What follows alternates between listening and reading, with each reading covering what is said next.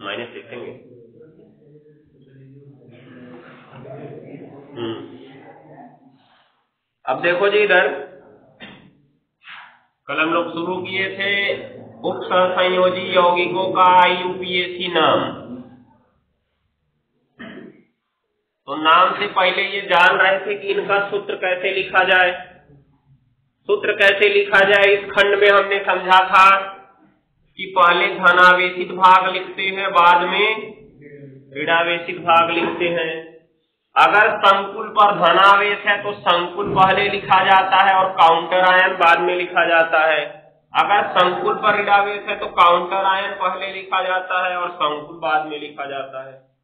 होता है ऐसा? ये चीज़ हमने ध्यान दिया। उसके बाद अब आते हैं, अभी तो कल हमने बस यही सीखा था। कि कब संकुल पहले रखा जाता है, कब संकुल बाद में रखा जाता है। तो संकुल पहले कब रखा जाएगा? जब उस पर कैसा आवेश हो? धन आवेश हो। संकुल बाद में कब रखा जाता है? जब उस पर ऋणावेश हो। ठीक है ना?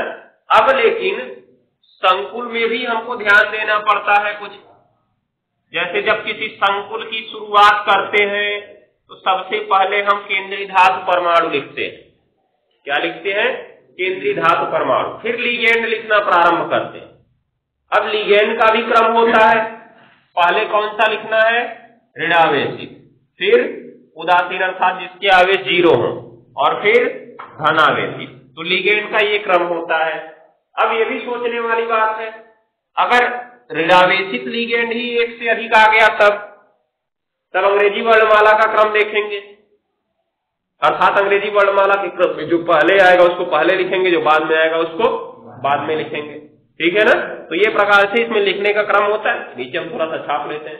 कहाँ तक कल लिखे थे?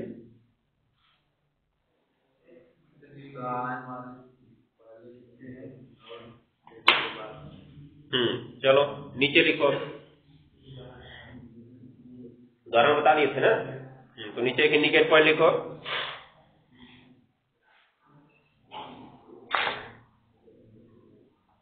जटिल आयन में जटिल आयन में।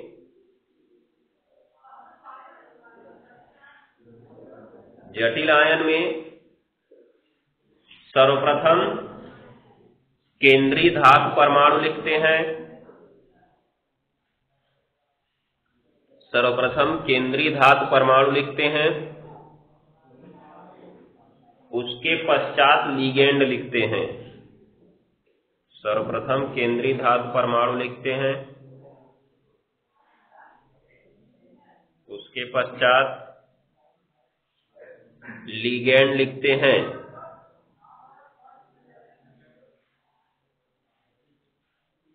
हो गया ना? आगे लिख लेना। यदि यदि एक से अधिक प्रकार के लिगेंड आते हैं तो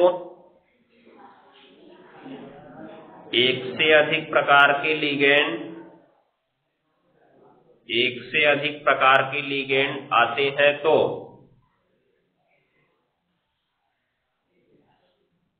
एक से अधिक प्रकार के लिगेंड आते हैं तो पहले पहले ऋणावेशित लिगेंड, पहले ऋणावेशित लिगेंड, पहले ऋणावेशित लिगेंड फिर उदासीन लिगेंड, फिर उदासीन लिगेंड, तथा उसके बाद, तथा उसके बाद, हो गया? धनावेशित लिगेंड लिखते हैं।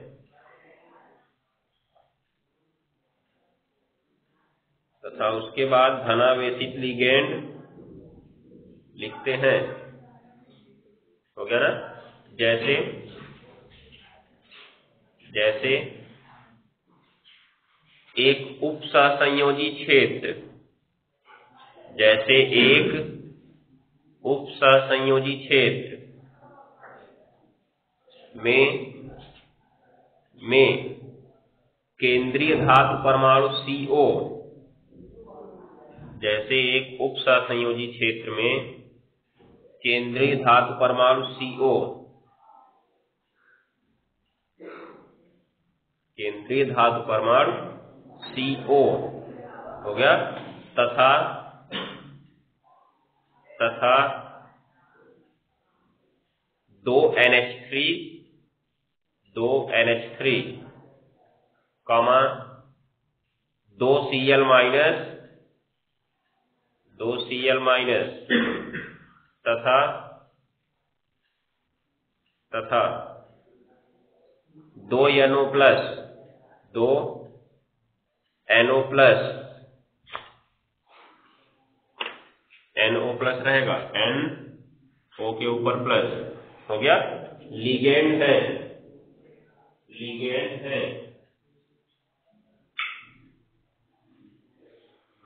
लिगेंड है। हो गया। तो तो हो गया। इसका सूत्र निम्न प्रकार लिखेंगे। तो इसका सूत्र निम्न प्रकार लिखेंगे। अब देख सकते हो, कौन कौन था जी? केंद्रीय धात परमाणु था कोबाल्ट, है ना?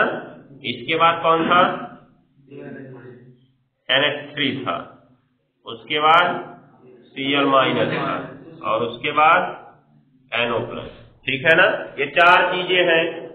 तो इसमें एक तो केंद्रीय धातु परमाणु है, बाकी लिगेंड है ना? तो अब इसका सूत्र कैसे लिखोगे? हमने कहा, पहले केंद्रीय धातु परमाणु लिखते हैं। अब इसके बाद लिगेंड लिख।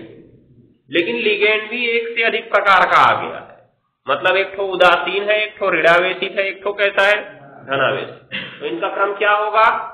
पहले ऋणावेशित लिखेंगे कई ठो था दीजिए सीएल दो ठो था फिर उदासीन वाला लिखेंगे, ये भी कई ठो था दो ठो फिर धनावेशित वाला लिखेंगे कई ठो है ये भी दो ठो है।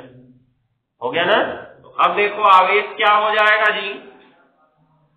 यहाँ पे कोबाल्ट का तीन प्लस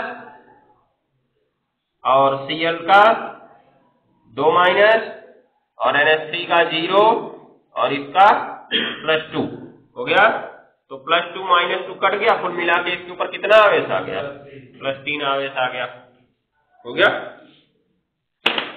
अब यहाँ पे कोबाल्ट की हमको पता नहीं था कितना होता है, लेकिन साधारण रूप से कोबाल्ट तीन प्लस बनाता है, इसलिए हम यहाँ पे तीन प्लस मान लिए, ठीक है?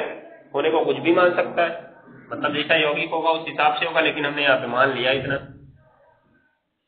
तो इसका सूत्र लिख लो, इस तरह से होगा।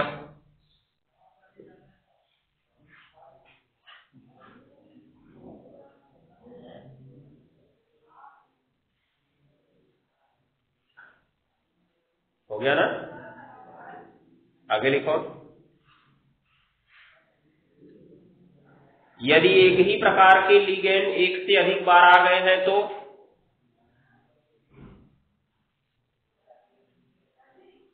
यदि एक ही प्रकार के लिगेंड एक से अधिक आ गए हैं तो एक से अधिक बार मत लिखना, एक से अधिक। आ गए हैं तो हो गया? तो उन्हें लिखते समय अंग्रेज़ी वर्णमाला के क्रम में व्यवस्थित करते हैं।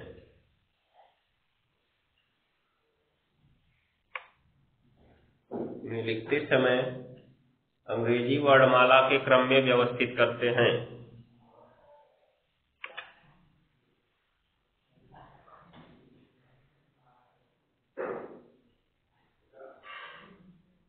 जैसे यदि किसी संकुल में। केंद्रीय धातु परमाणु।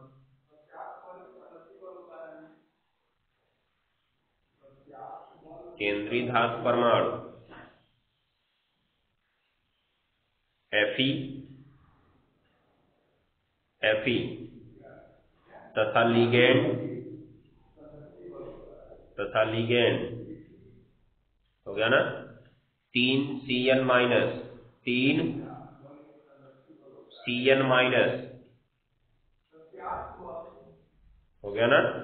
एक सी एन है। ये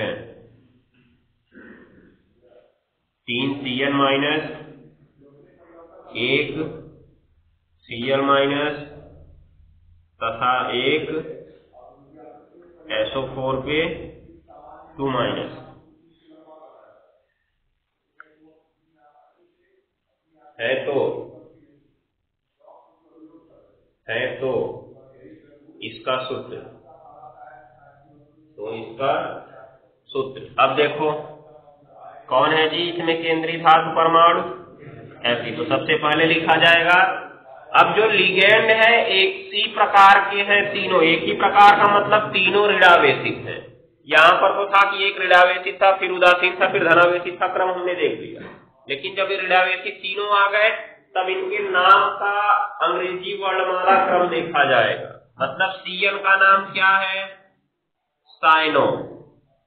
स्पेलिंग क्या होती है इसकी? C Y N O. Cyano लिखो, चाहे साइनाइडो लिखो तो तो सी से ही होगा। ये chloro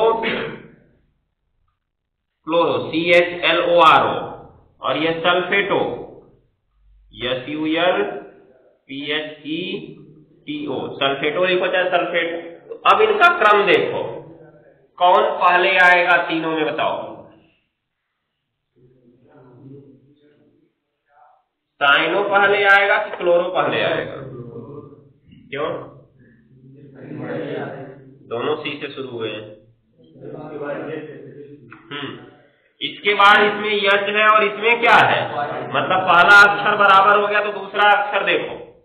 यश पहले आता है वाई बाद में आता है। तो कौन पहले लिखा जाएगा जी? सीएल। उसके बाद लिख दिए फिर सीएल लिख देंगे ना कई तो है? तीन तो और लास्ट में यश आता है तो इसको लिख देंगे। हो गया ना? अब देखो कितना आवेश आ जाएगा। दो माइनस इसका, एक माइनस इसका, तीन माइनस हो गया, और तीन माइनस सी एन का कुल मिला के छह माइनस हो गया। और या फिर मान लो हमने तीन प्लस कर दिया यहाँ पे, दो प्लस वाला भी कर सकते हो। मान लो हमने तीन प्लस किया। छह माइनस और तीन प्लस कितना बचेगा जी? माइनस तीन बचेगा। ये प्रकार से हो जाएगा। ठीक है ना? तो नोट कर लो।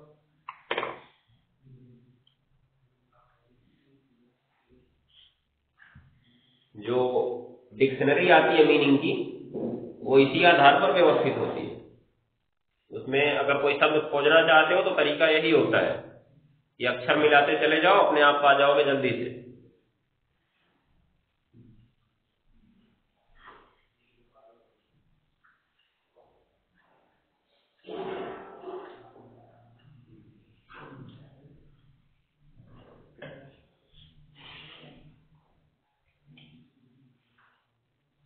अब आते हैं हेडिंग संकुल यौगिकों का यूपीएससी नामकरण संकुल यौगिकों का आईयूपीएसी नामकरण।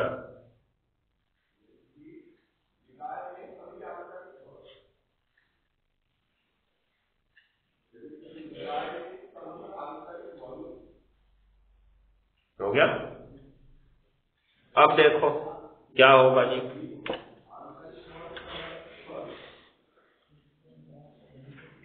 अगर आईयूपीएससी नाम लिखना है तो पहले तो हम ध्यान देते हैं इनका सूत्र कैसे लिखा गया था।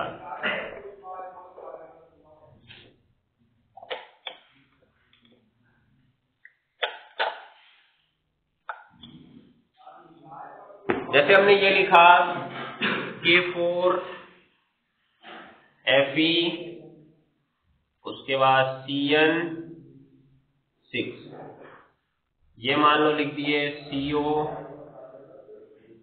N H three six और इसके बाहर सी एल थ्री इनका नाम कैसे लिखा जाएगा? तो पहले तो साधारण तरीका, जैसे तुम इसका नाम क्या लिखते हो? क्या नाम लिखते हो? Sodium chloride. क्लोराइड सोडियम तो लिखते नहीं हो? सोडियम क्लोराइड तुमने क्यों लिखा? क्योंकि पहले किसका नाम लिखे? धनायन का, फिर बाद में ऋणायन का। वैसा ही यहाँ भी होगा।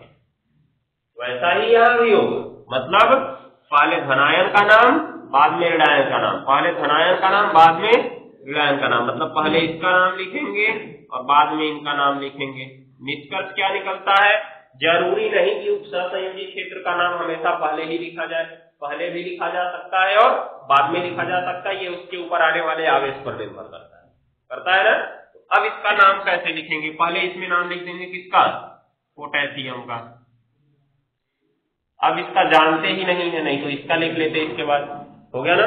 उसके बाद इसमें पहले नहीं, इसका नहीं जानते, लेकिन इसका जानते हैं क्लोराइड।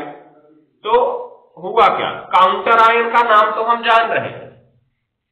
काउंटर आयन का नाम हम जान रहे हैं जो बड़े कोष्ठक के बाहर उसका नाम तो जान रहे हैं। साधारण नाम लिखना। लेकिन जो बड़े कोष्ठक के अंदर है इसका नाम क्या लिखें? हमको इसी का नियम यहाँ पे पढ़ना है। ठीक है? तो इसका नाम लिखने का सबसे पहला नियम है, पहले लिगेंड का नाम लिखना और फिर तब केंद्रीय धातु प्रमाण का नाम लिखना।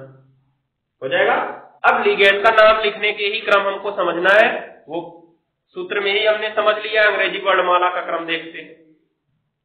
किसका क्रम देखते हैं? अंग्रेज़ी वर्णमाला का क्रम देखते हैं। लेकिन इनका नाम क्या होता है? जैसे हमने आईयूपीएससी नाम कार्बनिक यौगिकों का पढ़ा था ना तो वहाँ पे विशेष प्रकार के प्रेफिक्सों का आईयूपीएससी नाम पढ़े थे क्लोरो ब्रोमो आयोडो, फ्लोरो, उसके बाद तुम्हारा एथिल मेथिल पढ़े थे ना तो वही सारी चीज़ें यहाँ भी हमको पढ़नी है इनको क्या नाम दिया गया है। जैसे यहाँ पे सीएन है तो सीएन को हमने कहा ना साइनो नाम दिया गया है।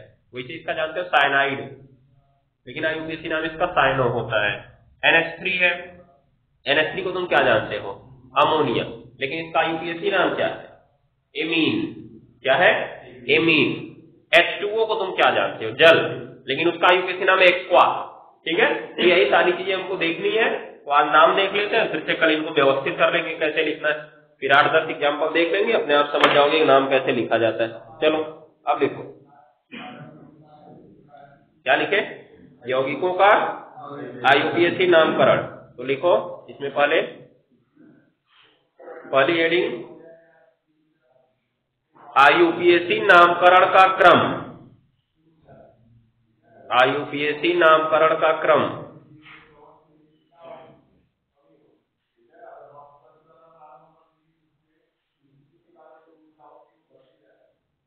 आईयूपीएससी नामकरण का क्रम। लिखो किसी भी संकुल यौगिक का आईयूपीएससी नाम लिखते समय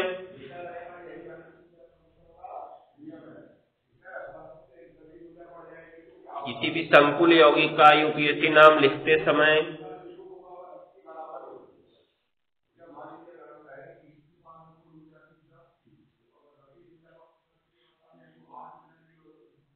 किसी भी संकुल यौगिक का आईयूपीएससी नाम लिखते समय सर्वप्रथम सर्वप्रथम धनावेशित भाग का नाम लिखते हैं।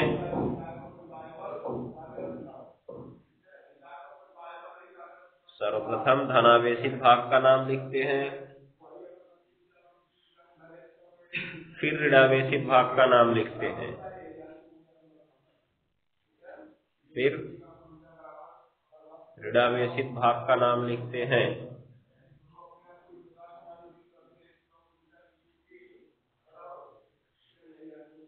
हो गया ना? जैसे जैसे K four F E C N six K four F E C N six में K four F E C N six में हो गया। पहले पहले के प्लस के प्लस आयन पहले के प्लस रहेगा ना? पहले के प्लस आयन फिर उसके बाद, फिर उसके बाद बड़े कोष्ठक में एफ़ सिक्स के ऊपर फोर माइनस फिर उसके बाद बड़े कोष्ठक में एफ़ सिक्स के ऊपर फोर माइनस का नाम लिखते हैं।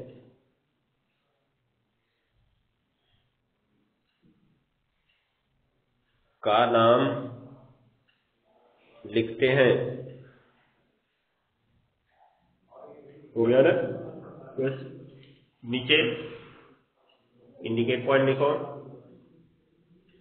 अब देखो, जो हमारा उपसा संयोजी यौगिक होगा, इसमें एक जटिल आयन होगा और एक काउंटर आयन होगा।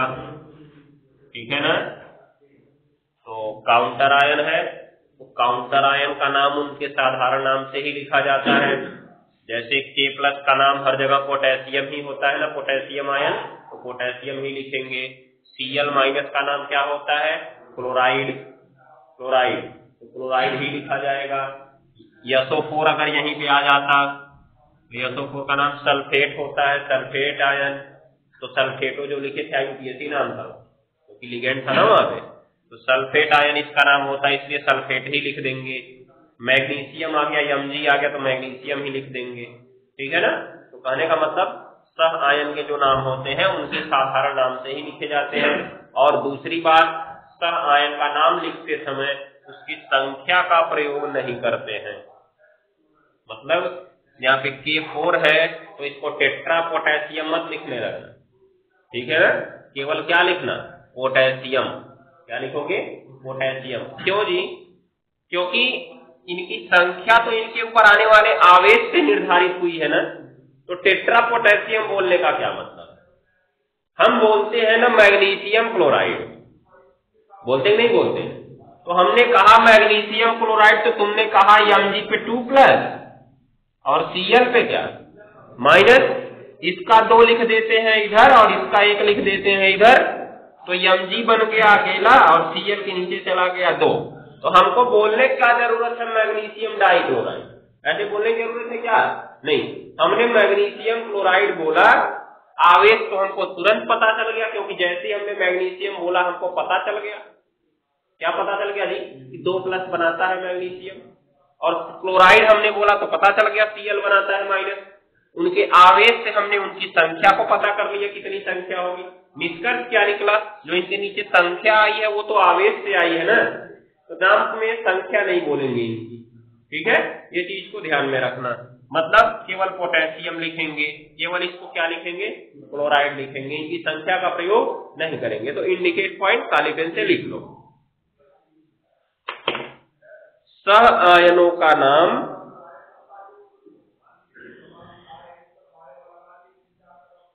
सह आयनों का नाम उनके साधारण नाम से ही लिखा जाता है।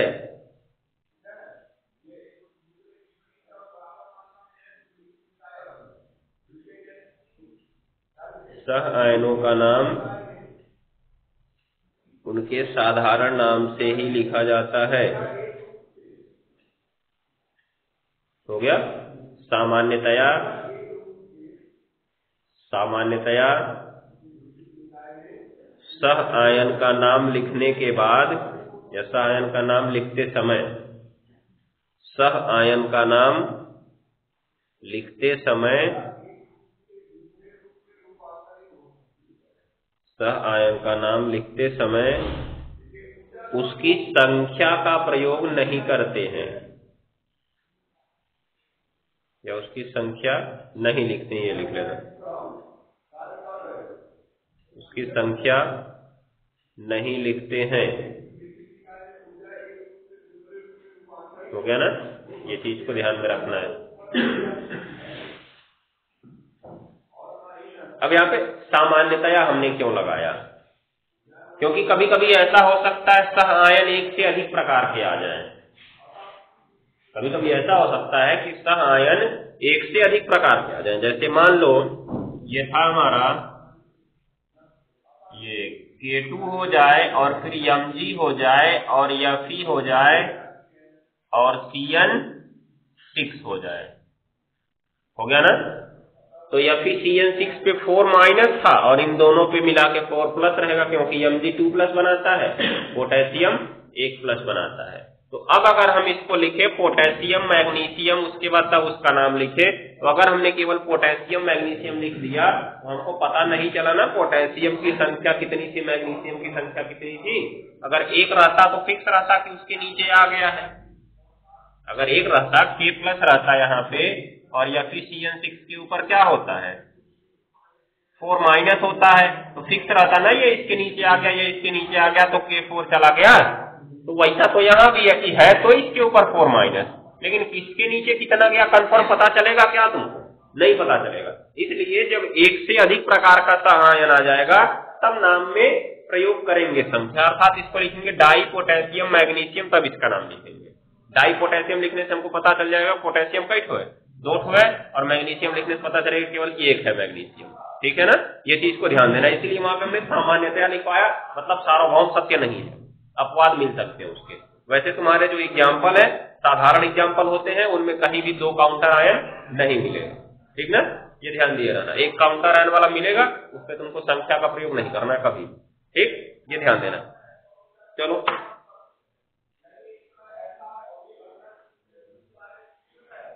हो गया? तो अब देखो, इसमें तो काउंटर आयन का नाम हो गया कि काउंटर आयन का नाम क्या लिखना है? साधारण नाम लिख देना, उसकी संख्या का प्रयोग नहीं करना है। अब बच रहा है ये बड़े कोष्ठक वाला, इसका नाम हमको पढ़ना है। तो नीचे हेडिंग लिखो अब। उप संयोजी क्षेत्र का आईयूपीएसी नामकरण। उप संयोजी क्षेत्र का आईयूपीएसी नामकरण।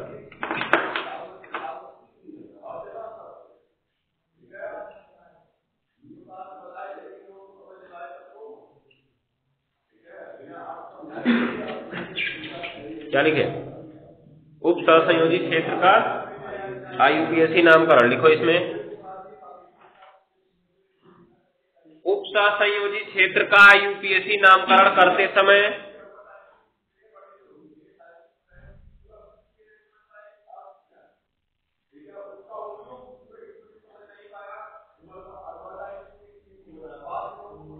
उप संयोजी क्षेत्र का आईयूपीएससी नाम लिखते समय तो क्या काली पेन से आगे लिख लेना। पहले पहले,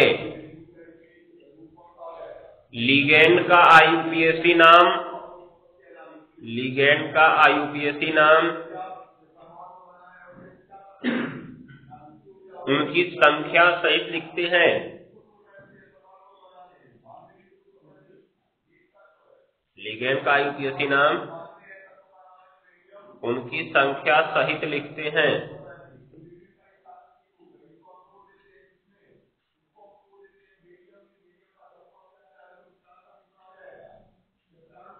लिगेंड का यूपीएससी नाम उनकी संख्या सहित लिखते हैं। हो गया ना? फिर उसके बाद,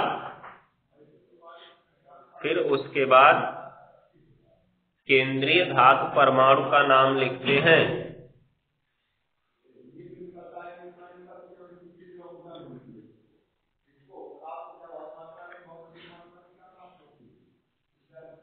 केंद्रीय धातु परमाणु का नाम लिखते हैं। हुँ? हम्म? नहीं, अभी उसमें देखेंगे, इसमें आ रहे हैं। यही लिखवा दे फिर आगे। हम्म लिखो इसमें। कहा लिखे जी। केंद्रीय धातु परमाणु का नाम लिखते हो गए ना? तथा उसके बाद तथा उसके बाद कोष्ठक में कोष्ठक में लिखना है। बनाना नहीं है, लिखना है कोष्ठक में। तथा उसके बाद कोष्ठक में उसकी ऑक्सीकरण संख्या, उसके बाद कोष्ठक में उसकी ऑक्सीकरण संख्या, उसकी ऑक्सीकरण संख्या। हो गया ना? रोमन अंक में लिख देते हैं। रोमन अंक में लिख देते हैं।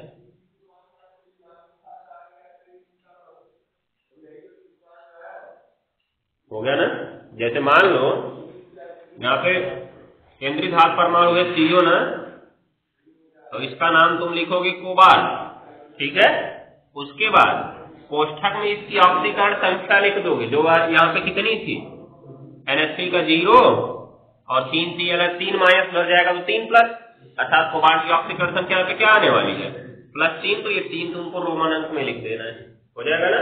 ये चीज़ को ध्यान रखना सबके साथ। सभी केंद्रीय धातु परमाणु के साथ यही प्रयोग करना है। पहले लिगेंड का नाम लिखोगे, फिर केंद्रीय धातु परमाणु का नाम लिखोगे। अर्थात जैसे इसका नाम क्या हो जाएगा? छह है ना? तो छह के लिए प्रयोग करते हैं हेक्सा क्या प्रयोग करते हैं? हेक्सा और अमोनिया के लिए प्रयोग करते हैं, हमने बताया। एमीन और उसके बाद कोबाल्ट और कोष्ठक में थर्ड और फिर सीएल का नाम क्या लिख देंगे? क्लोराइड इसका नाम ये हो जाएगा। ठीक है ना? ये प्रकार से। अब इसका जो नाम था एमीन था, हेक्सा लगा, क्या लगता है? यही सब चीज़ें हमको देखनी है। तो लिखो इसमें। तो अब इसमें क्रम क्या बना हमारा? पहले लिगेन का नाम लिखना है। लिगेन का यूपीएससी नाम, उसकी संख्या है पहले लिगेन का यूपीएससी नाम लिखो तो नीचे लिखेंगे सिंगल इंडिकेट पॉइंट कुछ लिगेंडों के आयुपीएसी नाम और सूत्र निम्न प्रकार हैं।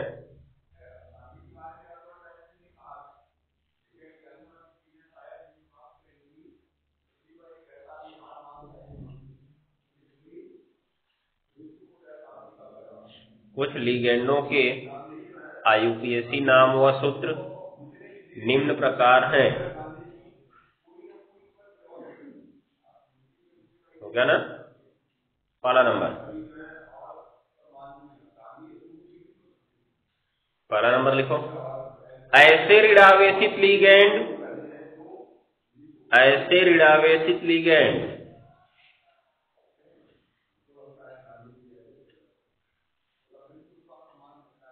ऐसे ऋणावेशित लीगेंड हो गया, जिनके नाम के अंत में ऐसे ऋणावेशित लीगेंड, जिनके नाम के अंत में आइड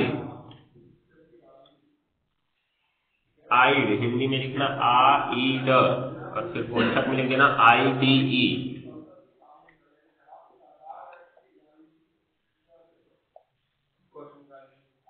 आइड आई डी ई हिंदी में था वो इंग्लिश में है। आइड आई डी ई आता है। आता है।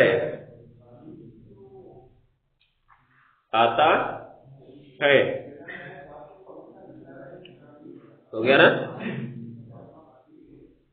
उनका आइड हटाकर, उनका आइड हटाकर। उनका आइड हटाकर ओ जोड़ देते हैं, ओ। ओ लिखना है, कोष्ठक में फिर ओ लिख लेना है इंग्लिश में। ओ जोड़ देना है। हो गया ना? ओ जोड़ देते हैं। हो गया ना? जैसे देखो कॉलम बना लो। आयन और कोष्ठक में इसका नाम। और इधर हम लिखेंगे आईयूपीएसी नाम। जैसे आता है पहले एफ़ माइनस नाम है इसका फ्लोराइड क्या है जी? फ्लोराइड अब इसके अंत में आइड आया है ना, फ्लोर में आइड जुड़ा तो फ्लोराइड हो गया। तो इसका आईयूपीएसी नाम लिखते समय इसका आइड हटा के ओ जोड़ दो। तो फ्लोर में आइड जुड़ा था तो आइड हटा दी केवल फ्लोर बचा ओ जोड़ देना तो फ्लोरो हो जाएगा। क्या हो जाएगा जी? Fluoro F L O R O नाम हम सामान्यतः यूपीएससी नाम इंग्लिश में ही लिखते हैं। इसलिए ये शब्द भी ध्यान में रखना। ऐसे ही Cl- माइनस का नाम क्या होता है जी? क्लोराइड तो इसको लिख देंगे क्लोरो मतलब C H L O R O फिर बी आर के ऊपर माइनस ब्रोमाइड इसको कहेंगे ब्रोमो ऐसे ही अगर ऑक्सीजन के ऊपर टू माइनस आया तो इसको कहते हैं ऑक्साइड तो इसका नाम लिखेंगे ऑक्सो। क्या लिखेंगे जी? ऑक्सो।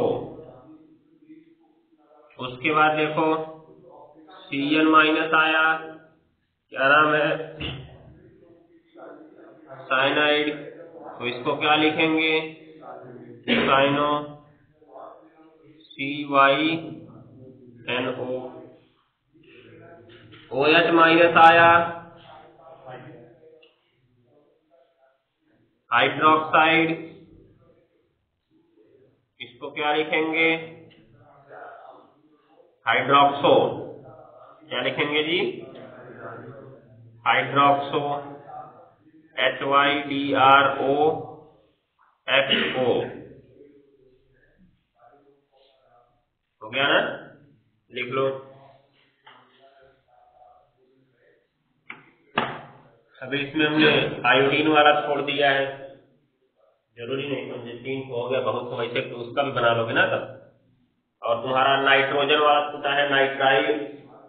नाइट्राइड होता है ना तो उसका क्या लिखेंगे? नाइट्रो या नाइट्राइडो।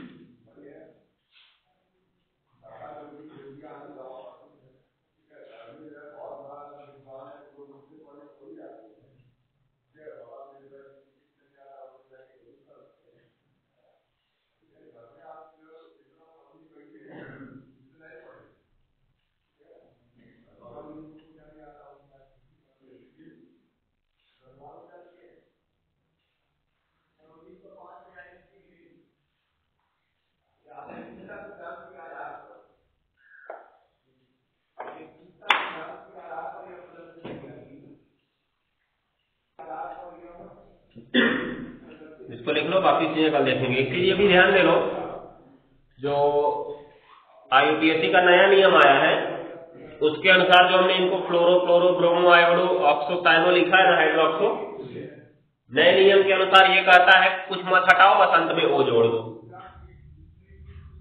नया नियम ये भी कहता है कि बिना आइड हटाए अंत में ओ जोड़ दो, अर्थात क्लोराइड को क्या लिख दो? क्लोराइडो क्लोराइड को क्लोराइडो ब्रोमाइड को ब्रोमाइडो ठीक है ना? तो वो भी लिख सकते हो, तुम दोनों लिख सकते हो, ठीक? या यहाँ नीचे के इंडिकेट पॉइंट लिख लेना। नए नियमों के अनुसार इनके नाम के अंत में क्या जोड़ देते हैं? वो जोड़ देते हैं। कुछ हटाते नहीं है। दोनों लिख सकते हो, दोनों सही है।